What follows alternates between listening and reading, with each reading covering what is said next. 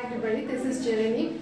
Uh, I'm from Tamil Nadu. I've completed my BE in Computer Science in 2014 and uh, recently I have uh, completed my Selenium training before one month in QSpider.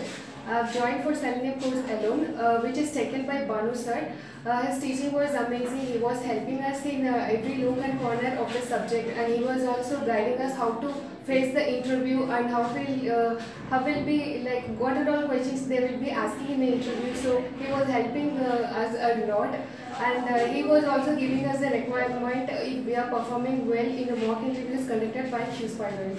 So those, uh, those days were amazing.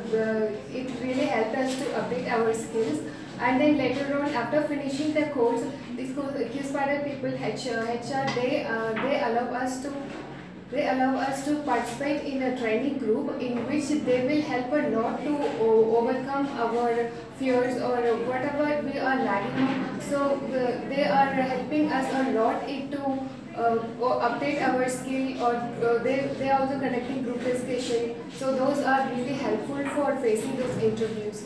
And recently I've got placed in Torry Harris which is a good platform. It is a US based company and uh, I have uh, I'm assigned for the post of uh, associate software engineer. It's a decent post and the salary is also fine. And so uh, this is this is because of Q Spiders and the support given by those people are really amazing. So thank you for that.